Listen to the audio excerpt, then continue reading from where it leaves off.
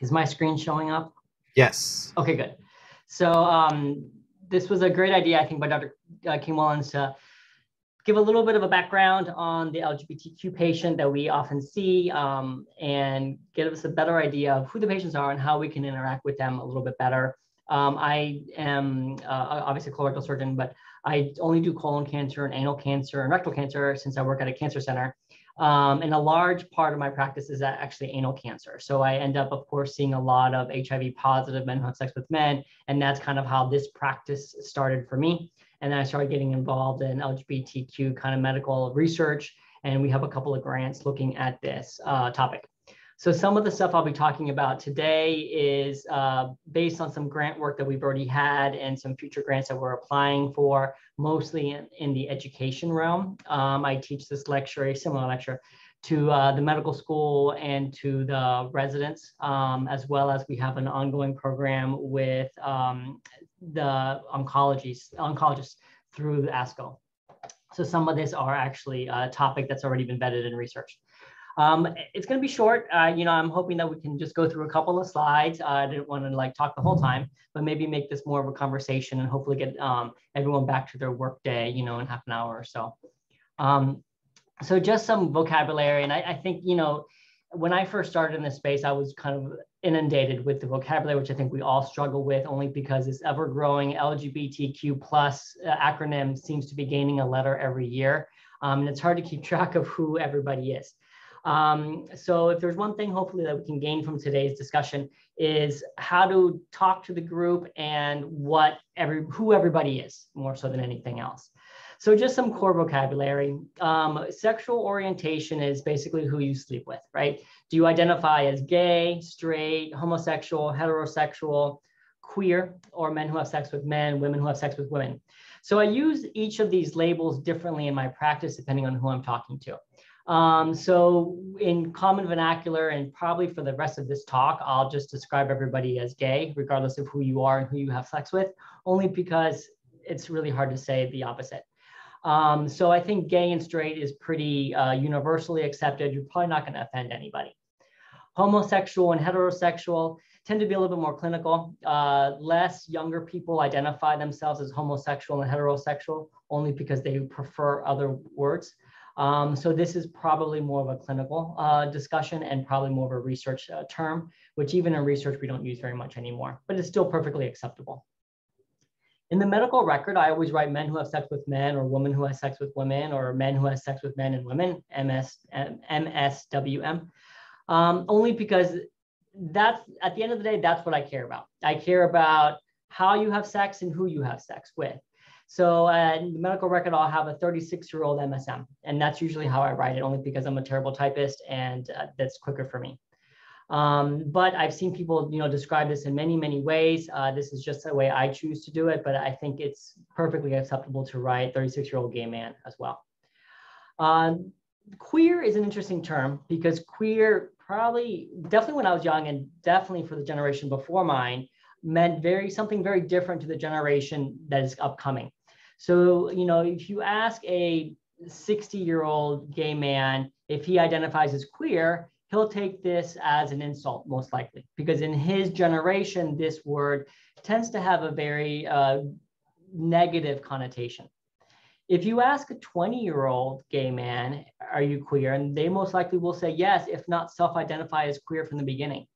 So I think this is a very evolving term, whereas in the younger generations, this term tends to mean anyone who is not straight cisgender, right? So anybody else is considered queer, which is kind of more accepting in a way, but you just have to be careful with who you're throwing this around with. So I tend to let the patient self-describe as queer before I start throwing around this word, only because it can get kind of charged if I start throwing it around without the patient's acceptance of it but it's still a very, very acceptable term. And more and more, I'm seeing more research papers uh, with queer as uh, the one of the you know key phrases in the terms. So the label is not as important as the practice. And what I mean by that is that the I really care about what's going on in the patient's life, not so much of how they self-identify or how they name themselves. Um, it's really just what are they doing in practice? What is their everyday life like? The label, it helps in the EMR, but other than that, doesn't really help me so much. Um, a key, you know, kind of uh, thing to remember about this is in some populations, it's okay to have same-sex relationships and consider yourself straight. For instance, uh, there's been some research work in the HIV world, especially among the intersectionality of Black HIV positive men, especially in the inner cities. And you can see in a very uh, metropolitan area, it's very normal within that subculture to consider yourself straight and still have sex with men. So in this sense, in that population, if you ask that man, are you gay? They will say no, because by their definition, they're not. So that is why it's really important to find out, well, ask the follow-up question. Well, you're not gay, you're not straight, what are you? But who do you have sex with? Because at the end of the day, that's what's most important. The second term that I want to get through is gender identity. And this is kind of confusing for me at the beginning, but then once you kind of uh, get through it, it makes much more sense. And the first one's obviously transgender. And that's when a patient's birth gender is different from their now gender. So their gender at birth is whatever the doctor said whenever they were born. Oh, congratulations, Mrs. Smith, you have a beautiful baby boy. Now, that patient will grow up eventually and may or may not associate themselves with that assigned gender at birth. Anybody who falls in this category is transgender, meaning their birth gender does not match who they think they are right now. So this common phrases for this is a trans woman, a trans man, just calling them transgender or trans. Now, the difference between a trans man and a trans woman is it's who you are now, is how I think of it. So a trans woman was born male and is now a woman. A trans man was born female and is now masculine. So I think this kind of will play later on as we go through a couple of examples, but that's the easiest way for me to remember it is trans, meaning you're not what you were born at birth and what you are now, woman or man. Um, it's also interesting the word transition. So a lot of uh, transgender patients will describe their transition between their gender assigned at birth and their current gender. And it's not a point A to a point B. It's more of a long-term, most likely, transition with several steps along the way. So most transgender patients will not say, I became a man when I had this, when I started hormones when I had bottom surgery, when I had top surgery, when I changed my driver's license. There is no def- defining moment at which point that patient describes themselves, okay, now I'm a man or now I'm a woman. So the important thing to think of when treating transgender patients is that in their mind, they have been a man their whole life, that they were just misassigned at birth. So there's not a single point in life, in time, when these patients all of a sudden become a man or a woman. So they think of this as a transition where it's gradual. Some patients tend to go right away and have all of their, you know, surgeries that they may need, may want, may have all of their legal work done all at the same time. Some patients may have just a part of it and some patients may have none of it. So it's really important for us to uh, allow the patient to describe their own gender identity in their terms, not in our terms. It's not my business whether or not I consider a, a man or a woman based on your genitalia or based on your driver's license. It's really based on what that patient feels is their own identity. Um, cisgender is pretty much everybody else. So cisgender is the patient who was assigned a gender at birth and still considers themselves to be at that gender. This is an interesting topic that I, you know, want to spend a little bit of time on, um, which for me, um, obviously we're all surgeons, so we're all fairly visual people. So I'm hoping this will resonate with you guys as well. Um, and this is the different axes of someone's sexuality. So somebody way smarter than me came up with this genderbread person. And what they described is, well, what are the axes of someone's sexuality? So if you're gay, you sleep, if you're gay male and you sleep with men, does that mean that you dress like a woman? Or does that mean that you're trans and you are gay and a lesbian, you know, it just can get super, super confusing. And, you know, maybe we're more used to these terms now, but definitely my parents are not. So I wanted to just go over this with you, with everybody, so we can identify the different parts of someone's sexuality so that when we address a patient, we know what axes we are talking about. And really this applies for everybody. So no matter how straight, no matter how cisgender, no matter who you are, everybody falls somewhere along this spectrum. Even if you're all the way to the left or all the way to the right, you're going to fall somewhere along these lines. So if you can see my cursor, I'm not sure. We'll start with gender identity. And this is, well, who does your brain think you are? Does your brain think you have a certain degree of womanness or a certain degree of manness? Now, some people may be 100% woman, 0% man, or vice versa, or somewhere in between, but this is what your brain is telling you who you are. And this is your gender identity. The next thing is your gender expression. And that is who are you telling society that you are? Are you telling society that you are a certain percentage of feminine, a certain percentage of masculine, or some combination therein?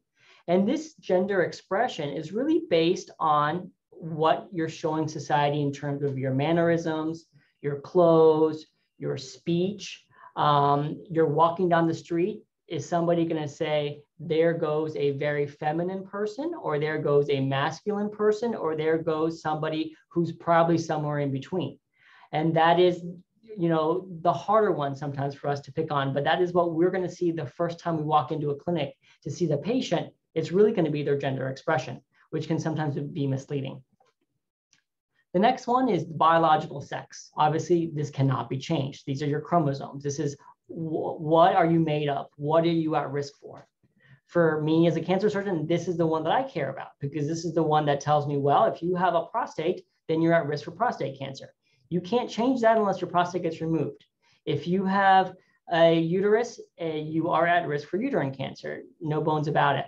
So biological sex obviously is the one that is the least uh, obviously changeable, let's say, and the most predictive of any cancer future risks just as an aside, we'll talk about, you know, cancer and specific the clinical care on the second version of this talk. So I'll save some of this for later. Um, and the last one is who are you romantically attracted to? Um, are you romantically attracted to more feminine? Are you romantically attracted to more masculine? And as you can see, this is irrespective of everything else. So you can identify, uh, your brain can tell you that you are 100% woman you can express your gender as, say, 60% woman, 40% man. Your biological sex can be 100% woman because you're XX, but you can be romantically attracted to either women or men, having nothing to do with anything above. So the important thing that I wanted to get through with this genderbread person is that, you know, there was a common misconception that a trans woman, so somebody who was born a man is now a woman, has to be sexually attracted to men. Well, no, because there are different axes. There are whole different equations. So who you were born, who you express, and who you're romantically attracted to are three different questions. Um, I had a pay, uh, sorry, a student one time say the difference between all of this is your gender identity is who you go to bed as, and romantically attracted is who you wake up next to, which I thought was really well said. Um, so it's kind of important to like just separate these topics in your brain. Um, so a little bit more on this alphabet soup, uh, which we you know kind of touched on the beginning, um, of some things that are very acceptable and some things that I would probably steer away from. Um, it's very, again, acceptable to call someone lesbian or gay, men who have sex with men, women who have sex with women.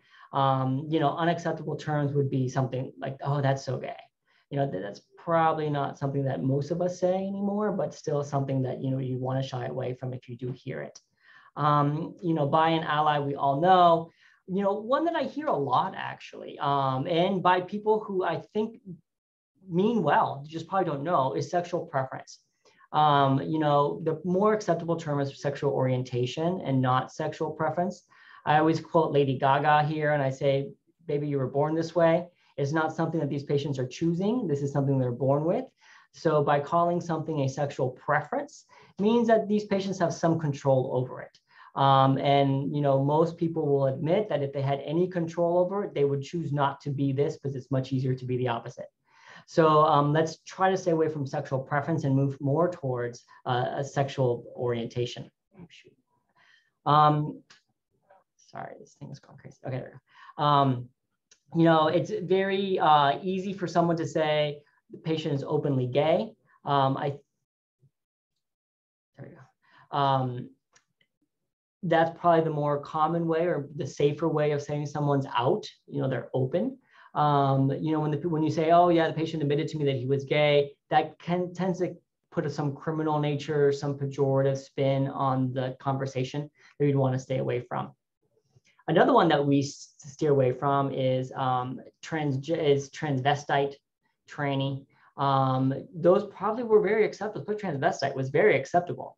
Um, it's interesting. When I first started in this field, we got a paper in probably my highest impact paper ever in one of the top three medical journals, and the title of the paper had transvestite in it. So it gets often cited because it's a very uh, citable paper and it has the word transvestite, which makes you cringe a little bit now. But at the time, it was a very acceptable term. Um, now we choose to say transgender. Um, so this is probably a safer term to use. As we talked about before, this whole transitioning process is a spectrum, it's a transition. We like to say there's no defining points at which you start and end. So, you know, calling somebody, hey, she's pre-op or he's post-op, other than after their lap colon, um, in this world, it doesn't really apply. So we would stay away from it. Um, another word that, you know, is probably easy to stay away from is sex change. Um, many people call it sexual affirmation surgery, sexual reassignment surgery. I don't know how many of us in this room have done it before, um, but we really don't say sex change anymore. Um, queer, we talked about, is kind of could be a good and a bad term. Um, again, homosexual lifestyle just goes to that preference that we're trying to stay away from. Um, the other one that I hear a lot of, especially because I'm a gay man with two kids, um, is, you know, mom and dad um, you know, automatically every teacher saying, hey, moms, don't forget to dress your kids tomorrow in their blue shirts, you know, for picture day or whatever it may be. Um, a, that assumes that only the moms dress their kids, and B, that assumes that every child has a mom, which both are fallacies. So those are kind of things that we would want to stay away from in just our common day um, and say two moms, two dads, probably parents is a more, you know, reasonable one. Um, this really goes into the pediatrician's office, not so much obviously in our careers, um, but when the pediatrician is going to call back the parents and call back the child, uh, they can call back the child first. And when they're ready for the parents to join in the clinical uh, assessment, they can say, hey, parents of Jimmy, come on back, as opposed to Jimmy's mom and dad. Um, and that's something that we can kind of keep an eye on with our front desk staff. Um, so some examples that we tend to do, which I think we all fall for, um, you know, when you walk into a clinic room and you see uh, a patient and a female companion, um, you can say, Mr. Smith, do you have a girlfriend? Well, that assumes that this woman and Mr. Smith are somehow romantically connected. That also assumes that Mr. Smith is straight and that this woman is straight as well. A lot of assumptions. Um, so what I tend to say is, hi, Mr. Smith, I'm Dr. Sanchez. Can you introduce me to everybody in the room? And then I let Dr. Mr. Smith, who's my patient, say, this is my girlfriend or this is my daughter. Remember, I'm in Florida, so oftentimes the one who you think is the daughter is actually the girlfriend. So we have to be very careful here with who we are assigning which label to. Um, the other thing I let the patient do is have their own uh, labeling. Mr. Smith, what pronouns do you feel comfortable with? Now, obviously, the patient from you know the sticks of Florida, who is most certainly not going to know what I'm talking about when I ask him this, I probably would steer away from it. Um, but the patient who, you know, I, I, feel that I need more clarification on, I would feel very comfortable from the beginning asking this, you know, question to clarify what pronouns I choose to use. I'll have uh, two scenarios at the, at the end that we can discuss this further. And then what happens if you make a mistake? Believe me, we all do, I definitely do. And there'll be times when I'll ask the patient, the patient will be very feminine expressing, coming in with very feminine looking clothes, very feminine uh, attire and demeanor and I ask them what pronouns and they say he pronouns and I still get it wrong two minutes later. So you can just say, oh shit, I'm sorry. You know, I, I didn't mean to make this mistake. You told me already once and I apologize.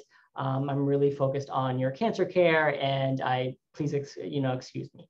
Um, and most patients will own it and they'll be accepting and be very happy actually that you recognized it. Because remember, these patients are going to go to the grocery store and get the same mistake three or four times a day. So you're not the first person to make this mistake, but you may be the first to recognize it for them that day. And that's what's really important. Um, so just some factors that we can you know, talk about in our own clinic space in terms of uh, cultural factors, such as the Health Equality Index, the Human Rights Campaign, which is this blue, the equality sign. Um, we can have um, some gender neutral bathrooms. Uh, our hospital policies are also kind of important. I'm gonna go through some of this uh, in the next slide. So I'll go through two research studies real quick, and then we can have a little bit more of a discussion. So one is uh, a study we did here at Tampa Pride, where we actually took to the streets and we asked the, you know, kids, adults, everybody that was there, um, so a couple questions about their healthcare experiences. So we asked them in the first column, how often are you asked about your healthcare, um, how often are you asked by your healthcare providers about your sexual orientation and identity? So the always is the green and the purple is never or rarely. So you can see that most patients are either rarely or never asked about their sexual orientation. Uh, in the second group of columns, we ask the patients, uh, do you believe that disclosing your sexual orientation is an important aspect of your care? Almost all of the patients said, yes, it is very important, which is contrasted to how many people actually got asked, which was interesting. Um, and few patients actually said that it was not important. So clearly the patients understand that it is important for them to disclose, um, but maybe we're not doing a great job of asking, which seems to be the takeaway from this experience. Um, then the rest we can probably skip through. Um, next, we took it to uh, our through ASCO. So we went to the American Society of, uh, Surgical Oncology, uh, sorry, American Society of Clinical Oncology uh, members, and we asked them how often they take a history of sex, including sexual orientation. And you can see among ASCO members, the vast majority did not actively take a sexual orientation history when confronted with the patient. Now you can argue that the standard prostate cancer patient or the standard breast cancer patient may not need sexual orientation information, but as we'll learn about in the next section, they do. Um, so it's really important for us to identify that we are not doing a good job of taking a good history when it comes to sexual orientation. The next thing is we asked the NCCN. So I work at an NCCN hospital, and we asked NCCN uh, providers and the panelists. Um, so these are all policymakers in the NCCN who set guidelines and ask them, well, how important is sexual orientation or gender identity to your specific panel? 84% um, of them said, 84% of the panelists said sexual orientation is irrelevant, including the panelists for colorectal and anal cancer, by the way. 94% um, said that gender identity is irrelevant. And 77% of the panels by the NCCN do not specific, specifically address any LGBT cancer issues. So as I mentioned before, the colorectal and anal cancer panel did not discuss, does not discuss LGBT cancer issues. And the panelists, uh, nor the panel, have any identification or input on sexual orientation or gender identity. Well, obviously for anal cancer, it's immensely important. Obviously, if someone's engaging in anal rectal intercourse and they have a stapled anal rectal, low, low colorectal anastomosis, it is important. Um, so all of these things are important, yet they're not being discussed even by the policymakers who we are. So it's important for all of us to identify that we need to kind of put this a little bit more in the forefront and start talking about this uh, not only to our patients, but to our colleagues. So I have a scenario and I'd like to open it up to the rest of the group so we can talk about in the next you know, 10 minutes or so. Um, this is, these are, I have three scenarios and they're all real world. So these, these have all happened to me. So uh, I was ready to go back to the OR. I think it's actually first case. And in the pre-op, I have a 30-year-old trans woman. So this is a patient who was born uh, male and identifies as a female and goes by female pronouns uh, and has changed her gender on the EMR and her license and legally in her name and is by every stretch of the imagination a woman in appearance and in expression. Uh, we're ready to go back and the pre-op nurse is insisting uh, that we can't go back until the patient uh, is able to pee so we can get a beta HCG on the patient to confirm that she is not pregnant. Um, how do you react? This is a patient who in the medical record says she's a trans woman on the first line. Any takers? I'll jump in. You know, I think um, I think this is just a, a great moment to have a discussion with everyone. And I think involving the patient in the um, discussion would also be very important. Um, and just kind of gently state with the nurse, you know, I, I, understand that, you know, we do have certain policies in place um, for safety reasons. Um, but, you know, given this current, you know, kind of clinical situation, we have to uh, apply things appropriately to this current clinical situation. And so if it's best, I can uh, actually write a progress note if you need me to, to, you know, place in the computer, you know, why we're not following this policy in this situation.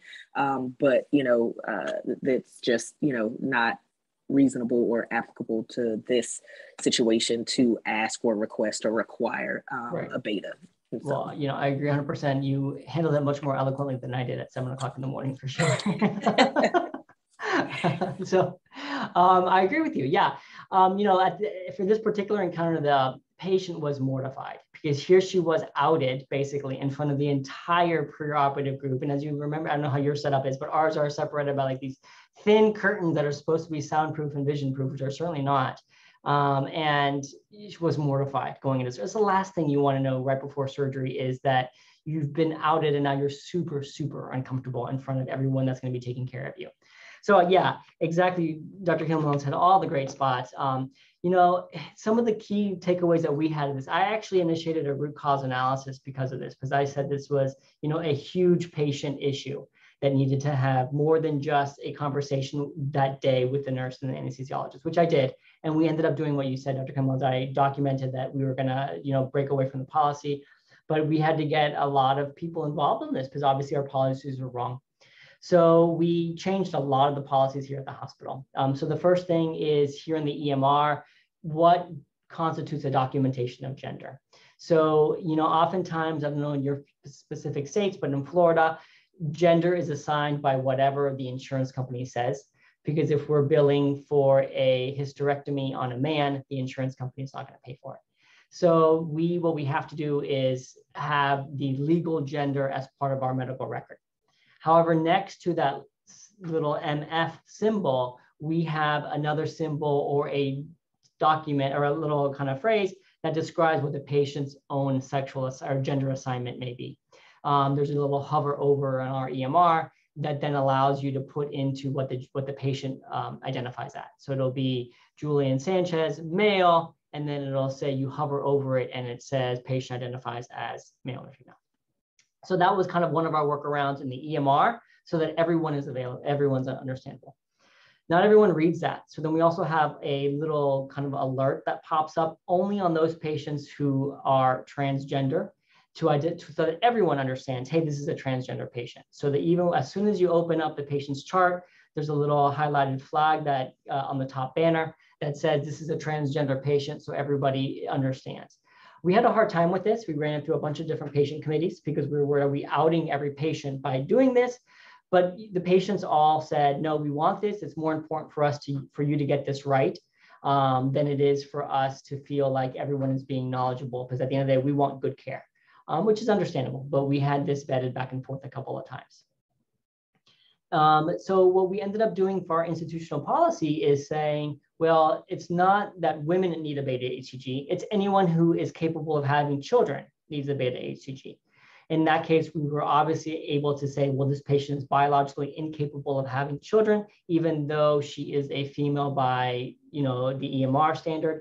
Um, but since she's biologically incapable of having children, she does not need a beta HCG. No further discussion needed. So we did change the institutional policy to a small word, but it made a big difference in this specific case. Um, the other thing that we had to do was a lot of gossip control. So obviously this was the event of the day in the ER, in the OR. Everybody was talking about it. Um, you know, it is something that our role as the surgeon is to kind of put a stop to it pretty quickly. Just say, yeah, no big deal. We're not going to get an HCG. We're going to roll back. We're going to address this separately on a different day. This patient's already uncomfortable. We need to get this case going and we can discuss this at another time away from the patients um, with more institutional leaders on the table. Um, and that's our role to educate and to lead by example. Um, another thing I just kind of threw in here too is oftentimes, uh, you know, in our in my OR at least, um, you know, when I'm bringing a patient back with extensive condylomata and uh, precancerous, say HSIL of the anus, um, there's some degree of um, expectation the patient's very promiscuous. And whether that may or may not be true, that's not our place to decide. Um, I know I'm pre preaching to the choir, choir here, but it's also our place to preach to those who help us in the OR and the preoperative space to be sure that we separate all of these things. We're here to treat the patient, not anything else about them. So in the last little couple minutes that we have, um, I have a, another scenario um, where you've been asked to help on the design committee of a new clinic. Um, how can we make this space more accepting? And just in the interest of time, I'll let you think about it for a minute. Um, and then I'll give you some of the thoughts that I had. And then I invite you guys to, you know, pitch in if you have any other ideas. Um, so the first thing I said was, well, we needed gender neutral bathrooms, of course. That's uh, kind of uh, common now. So at least one gender neutral bathroom in the space. Uh, one of the fights that we had here was to avoid labeling the Women's Center. So the Women's Center in my space encompassed gynecology, oncology, and breast oncology.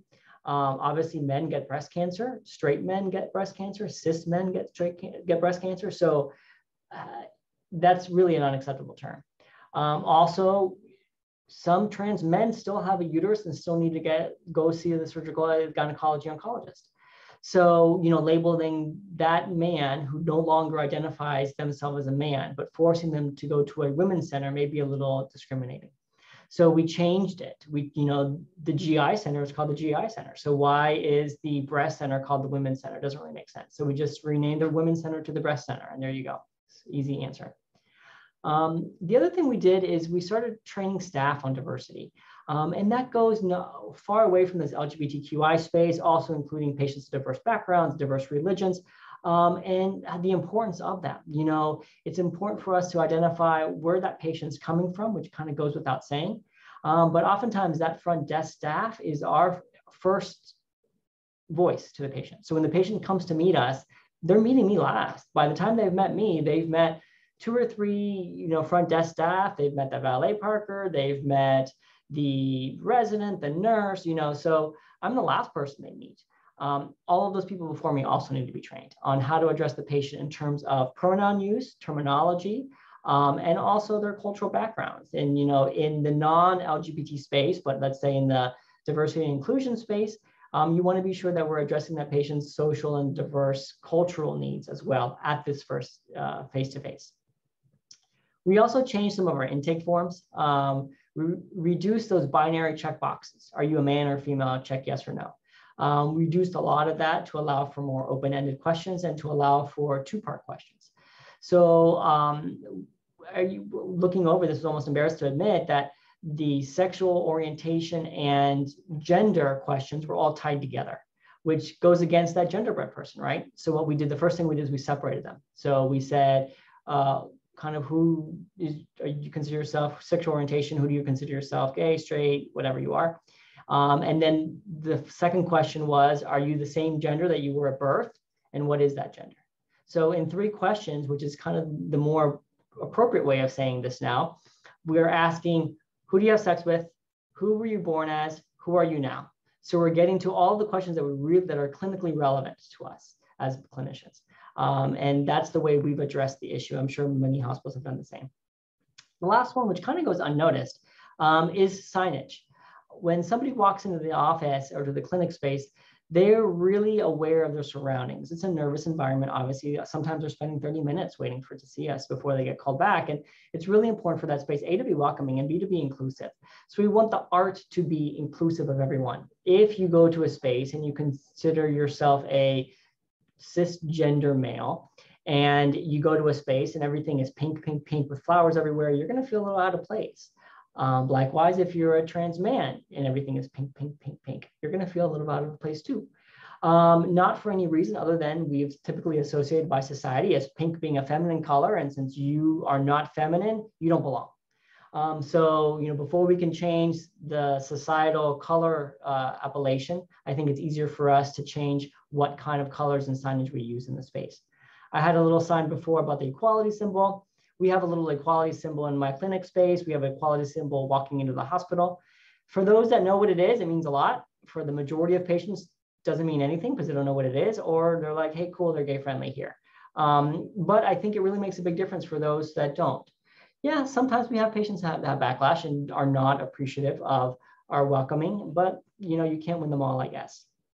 Um, so those are kind of issues that I think are really important uh, to discuss with your group and with your staff, um, and even with the institution in general, in order to make the space a little bit more, you know, welcoming for everybody.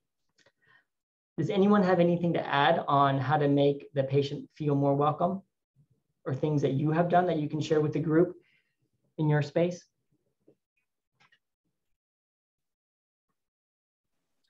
We had a, a, an episode or an issue a few years back with a patient who was going through the process of transitioning from um, man to woman, and um, you know he he started with us, you know, fully identifying as he, you know, male, um, and then over the course of time, slowly transitioned and changed his uh, his name and changed his pronoun and everything, but unfortunately had not yet fully gone through that process with his insurance provider or her insurance provider. And so uh, at the tail end of things, you know, the insurance and identification and documentation still had uh, listed, you know, male uh, in a male name and, you know, and at one point, she got so irate on that last visit because all of our patient documentation printout things, for legal reasons, had to be listed as the name that's reflected on the identification and the name that's reflected on the insurance cards. Um, and so we just kind of really had to have a conversation with the staff and with the patient and just say, you know, when you're here in the office, yes, we will address you verbally um, by your preferred name and pronoun. But, you know, unfortunately, for documentation and paperwork sake and for your insurance sake, we have to maintain the physical documentation as what you've provided on your, you know, um, on your insurance forms and things like that. So just yeah. something to kind of be mindful of and, and have those conversations. That's a great point, and that's something that the patients may not know. So I think a lot of the stuff is just like everything in life is just communication. Um, just letting the patient know, hey, listen, it's not that I'm tuning you out or not hearing you. It's the fact that this is what the law requires. Whenever you have stuff, you can just put them right there mm-hmm. to pay. Sorry. So yeah, so we had that discussion, off, uh, you know, with patients, and I think it's really, really important just to put it out there um, that you know some of the things we just can't change only because you know the logistics of uh, payers is kind of at play as well. And then the last one um, is a patient, Mark, who comes to clinic with his male friend. Mark is registered as a male, but comes in and presenting. So he's expressing very feminine uh, with feminine clothing, feminine gender expression. Um, this particular patient had a purse. He had his nails done. He was very feminine in demeanor. Um, so how would you respond? I, I think we would all do the same, is address the issue early. I asked Mark, hey, Mark, what pronouns do you want me to use? Um, and Mark said he, okay, great. So I, you know, described, I continued to address him and he. I asked him who his male friend is, and that was just his friend. Um, and I said, is it okay for me to talk about your healthcare scenarios or healthcare situation in front of your friend? Um, he said yes. Um, so then we continued on with the rest of the visit. But this is obviously something that had I not addressed it earlier, I would have been thinking about it the entire time. I know me, and I would not have past step one because I would have been so worried about offending Mark.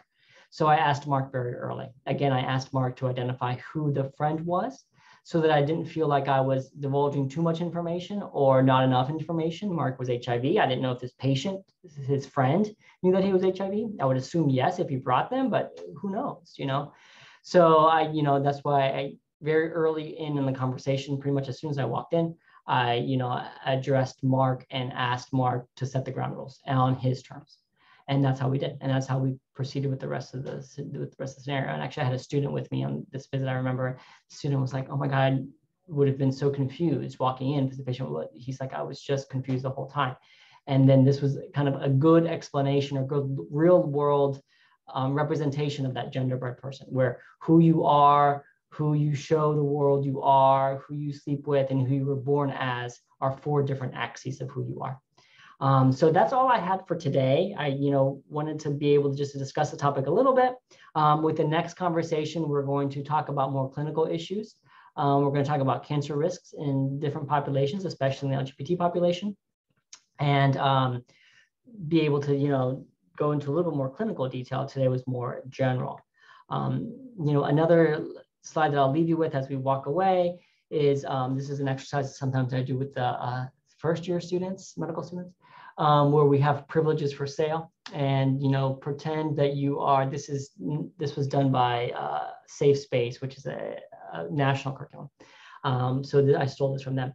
But this is, you know, assume you're in a society where you have no privileges. I give each student 10, you know, fake dollar bills.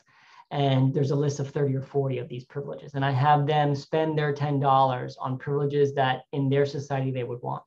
Um, and then they have to, you know, describe why they're spending their $10 on these privileges, knowing that if they don't buy it, they're not going to get it.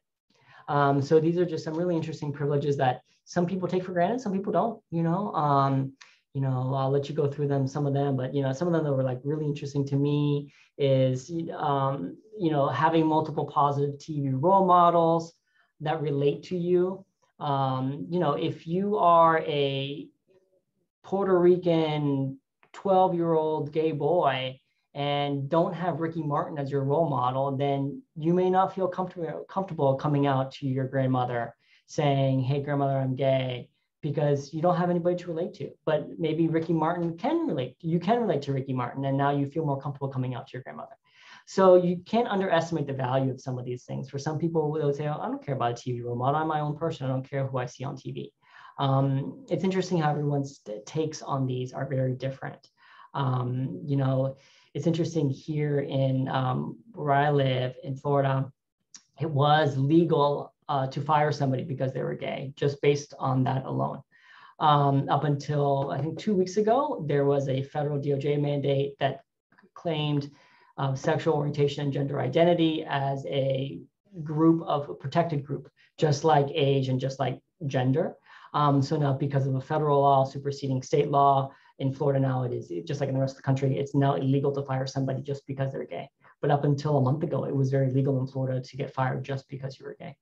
Um, so it, every state obviously is different. Now with federal laws being a little bit more inclusive, um, some states are having to, by force to, uh, you know, join the group. Um, you know, the other one is uh, obtaining child custody, raising children without fear of state intervention. Uh, here in Florida as well. This is because I know Florida law well. Um, there are some um, judges in Florida that are not allowing adoption of some states even today, not allowing same-sex couples. There was a judge in South Florida a couple of months ago who uh, two females had a baby by surrogacy, and the non-bio mom uh, was denied maternal rights uh, on that baby. And even though they fed, they followed Florida law for surrogacy, um, but the Florida law for surrogacy was built for men and women having a baby through surrogacy. So because this was two women, the judge said that they did not qualify to, to travel under this Florida statute. It's gone to the Supreme Court. And I think the Florida Supreme Court is actually going to rule against it. But either way, it, it, this, these are all real world scenarios. So um, don't discount them. But you know, some of them are you know easy and some of them are a little harder. And, and the whole list I can I'm happy to share with you. But it's kind of eye opening as to uh, what you take for granted and what you don't. So um, anyways, with that, I'd like to thank you guys all for joining us today in our discussion. If anyone wants to add anything, we have a little bit of time, but I wanted to give everybody some time to either discuss and think about this or get back to your day. I know everyone's busy. Anyone have anything to share?